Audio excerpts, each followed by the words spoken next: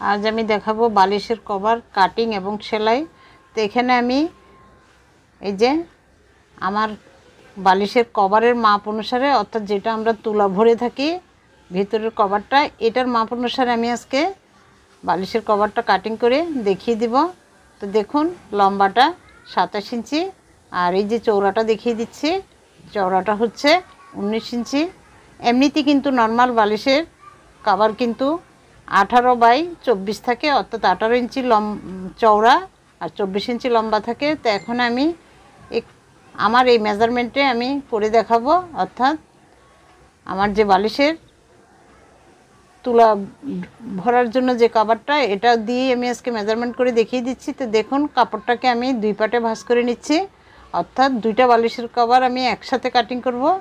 তো প্রথমে আমি এই যে অরিজিনাল যেই মেজারমেন্টটা এটা বসিয়ে হাফ ইঞ্চি, চারপাশে হাফ ইঞ্চি করে সেলাইয়ের জন্য বাড়তি রেখে আমি কাভারটা কেটে নিব। তো দেখুন, এই সাইডটা আমি সেলাই করে নিয়েছি। প্রথমেই যেটা মুখের সাইড, আমরা বালিশটা ঢুকাবো।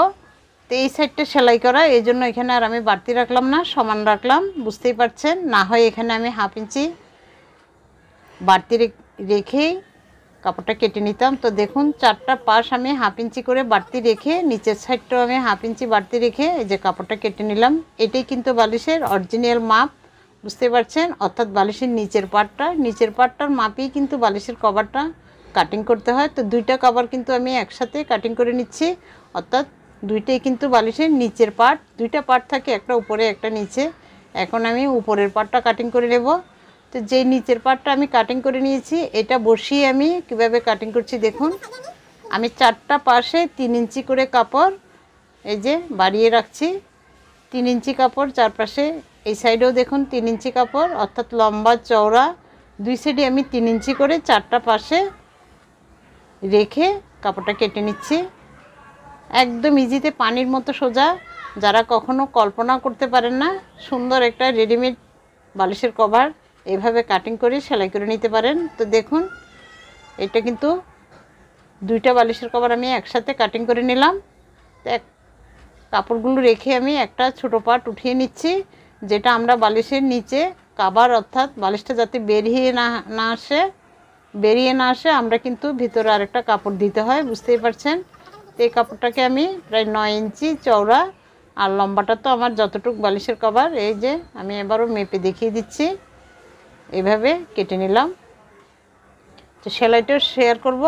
একদম পানির মতো সহজ, যাকে বলে। তো দেখুন নিচের পা, যে আমি ভিতরের বালিশটা বেরিয়ে না আসার জন্য যে কাপড়টা নিয়ে নিয়েছি, এই কাপড়টা আমি ওয়ান ফোর্থ ভাঁজ দিয়ে এভাবে একটা সাইড সেলাই করে নিলাম। একটা সাইডে সেলাই করতে হবে। তো সেলাই করার পরে আমার প্রায় আট ইঞ্চি কাপড় আছে। আপনাদের যদি কাপড় শর্ট হয়, এখানে আরও ছোট করেও দিতে পারেন, চওড়াটা। বুঝতেই পারছেন? তো এখন আমি যে উপরের পাটটা, বড় অংশটা, এটা নিয়ে নিয়েছি। আমি কিন্তু তিন ইঞ্চি করে বাড়তি রেখ- রেখেছি, বুঝতেই পারছেন? আমি ওই তিন ইঞ্চি কিন্তু পুরোটা এভাবে দাগ দিয়ে নিচ্ছি। তো দেখুন কতটা ইজি আসলে এটা কাজ যারা করে, তারাই বুঝতে পারবেন। এভাবে কাজ করলে মানে এভাবে যদি আমরা মেপে এভাবে দাগ দিয়ে নিই, তাইলে আর কোনো চান্স নেই কোথাও ছোট, বড় বা মাপের কোনো আর সমস্যাই হবে না, বুঝতে পারছেন? তো যারা কখনো বালিশের কভার সেলাই করেননি বা ভাবতেও পারেন না যে রেডিমেড একটা বালিশের কভার আমরা কীভাবে সেলাই করব, তো দেখুন, এভাবে আমি চারটা পাশ কাছ থেকে দেখিয়ে দিচ্ছি। যে যদি আপনি এখানে আড়াই ইঞ্চি নিয়ে থাকেন, আপনার কাপড়টা শর্ট থাকে বা চার ইঞ্চি নিতে পারেন, সমস্যার কিছুই নেই। তো যতটুকু আপনি নেবেন বাড়তি, ততটুকু, ততটুকুই আপনি এভাবে চারটা পাশ ঘুরিয়ে দাগ দিয়ে নেবেন। তো দেখুন, আমি আবারও দেখিয়ে দিচ্ছি, চারটা পাশ আমি এভাবে দাগ দিয়ে নিলাম, আর এটা কিন্তু বালিশের চওড়ার সাইডটা আমি নিয়ে নিলাম। লম্বাটা না, বুঝতেই পারছেন? আর সেলাই করা সাইডটা এভাবে রেখে, দেখুন, এটাই কিন্তু আমার কর্নার। এই কর্নারে বসিয়ে আমি এই দাগ বরাবর যেখানে আমি দাগ দিয়েছি, এভাবে জাস্ট বসিয়ে দিলাম। দেখুন, কোনো ঝামেলার কিছু নেই, মাপামাপির কিছু নেই। কতটা ইজি আর এই সাইডটা আমি ওয়ান ফোর্থ ভাঁজ দিয়ে এটা কিন্তু আমরা বালিশটা এদিকে ঢুকাবো, বুঝতেই পারছেন? এই সাইডটাই প্রথমে আমি করে নিচ্ছি। এভাবে বসিয়ে জাস্ট একটা চাপ সেলাই দিয়ে নিচ্ছি। আর দাগটা তো ঠিকই আছে, বুঝতে পারছেন? এই যে দাগটা আমি দেখিয়ে দিচ্ছি। দাগের উপরেই কিন্তু আমি এভাবে বসিয়ে বসিয়ে ওয়ান ফোর্থ ভাঁজ দিয়ে, দেখুন জাস্ট একটা দিয়ে নিচ্ছি। কতটা ইজি বুঝতে পারলেন? তো দেখুন, এখন আমি সাইডের কাপড়টা কীভাবে সেলাই করব?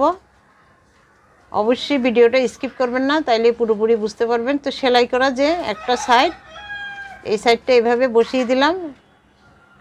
সেলাইটার সমান সমান যাতে থাকে, এখানে যাতে ফাঁকা না থাকে, বুঝতেই পারছেন? আর এভাবে আবারও ওয়ান ফুট ভাঁজ দিয়ে, এই দাগটার উপরেই কিন্তু আমার বাইরে যেতে পারবে না কাপড়টা। এটাই কিন্তু আমার মেজারমেন্ট তো এইভাবে বসিয়ে ওয়ান ফোর্থ ভাঁজ দিয়ে দেখুন কীভাবে ভাঁজ দিয়ে নিচ্ছি। আর এই কর্নারটা আমি মুড়িয়ে সেলাই করব। তাইলে কিন্তু রেডিমেড স্টাইলের হয়ে যাবে। এই যে দেখুন, তো কোনাটা, কাপড়টা কিন্তু অনেকটা মোটা হয়ে যায়। এই জন্য এই সাইডটা থেকে আমি একটু কাপড় কোনাকুনি করে কেটে নিলাম। আর আমি ঘুরিয়ে এখান থেকে সেলাইটা শুরু করছি, যাতে সেলাইটা মজবুত হয়, খুলে না আসে, বুঝতে পারছেন? তো এই জন্য আমি ঘুরিয়ে এই পাশটা দিয়ে সেলাইটা শুরু করলাম। আর এই যে কোনাটা, একবার সেলাই করার পরে সুতাটা না কেটে আবার আমি ডাবল সেলাই দিয়ে চলে আসলাম। তো দেখুন, আর দাগটা কিন্তু আমার সব সময় খেয়াল রাখতে হবে যাতে দাগের বাইরে না যায়, আবার ভেতরেও না আসে। তাহলে আমার মেজারমেন্ট কিন্তু ছোট বড় হয়ে যাবে, আবার দেখতেও ভালো লাগবে না আঁকা বাঁকা হবে। তো বারবার কিন্তু আমি দাগটা দেখে কাপড়টা বসিয়ে ওয়ান ফোর্থ ভাঁজ দিয়ে সেলাই করে নিয়ে আসলাম, দেখুন। এখন আবার নিচের অংশটা, একইভাবে আমি এই কোনাটা কিন্তু দেখুন কতটুক কেটে নিলাম। এভাবে কেটে মুড়িয়ে কর্নারটা তৈরি করে নিচ্ছি। যেখান থেকে আমার সেলাইয়ের কর্নারটা আসবে, বুঝতে পারছেন? তো দেখুন, এভাবে মুড়িয়ে আমি এই কোনাটা সেম করে নিয়ে আসলাম। কোনাটা যদি সুন্দর হয়, অর্থাৎ ত্রিভুজ আকৃতির হয়, তাহলে কিন্তু দেখতে ভালো লাগবে। এটা কিন্তু যার যার পছন্দের উপর হাতের কাজ দেখেই বুঝে নিতে হয়, বলার চাইতে, বুঝতে পারছেন? তো দেখুন, এইভাবে মুড়িয়ে আবারও আমি চলে আসলাম। আমার কিন্তু দাগের উপরেই কাপড়টা, বুঝতে পারছেন? দেখতেছেন কিন্তু এই যে আবারও এই কোনাটা কেটে আমি এইভাবে মুড়িয়ে নিচ্ছি ওয়ান ফুট করে। এর চাইতে সহজ কোনো উপায় আছে বলে আমার জানা নেই। একবার করলে নিজেই বুঝতে পারবেন, অবাক হয়ে যাবেন, এইভাবে করলে এত সহজ কীভাবে করা যায়? তো কাটিং সেলাই একদম পাঁচ মিনিটের মধ্যে কমপ্লিট করতে পারবেন। কোনো ব্যাপার না এটা। তো নিজেই অবাক হয়ে যাবেন যে এই সহজে কীভাবে, এত সহজ কীভাবে বালিশের কভার সেলাই করা বা কাটিং করা। তো দেখুন আমি এভাবে আবারও এই সাইডটায় চলে আসলাম। তো এই কোনাটা কাটিং করে আবারও একইভাবে মুড়িয়ে দেখুন জাস্ট একটা চাপ সেলাই দিয়ে নিচ্ছি। আর এখানে আমি ডাবল সেলাই দিয়ে নিলাম। আবারও ঘুরিয়ে। তো হয়ে গেল কমপ্লিট কাবার সেলাই। তো দেখুন কতটা।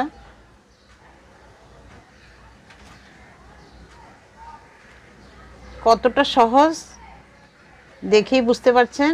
তো দেখুন চারটা পাশ আমি আবার ঘুরিয়ে ঘুরিয়ে একটু দেখিয়ে দিচ্ছি।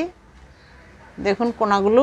একইভাবে আমি আরেকটা কাবার সেলাই করে নিয়েছি। যেহেতু আমি দুইটাই কাটিং করে নিয়েছি, দেখুন কোনাগুলো কতটা সুন্দর। কাছ থেকে আমি একটু দেখিয়ে দিচ্ছি। এই যে। এভাবে একবার সেলাই করবেন আর চমকে যাবেন। এত সহজ কীভাবে বালিশের কভার সেলাই করা যায়। কাটিং এবং সেলাই একদম মেজারমেন্ট ঠিকঠাক রেখে তো অবশ্যই একবার এভাবে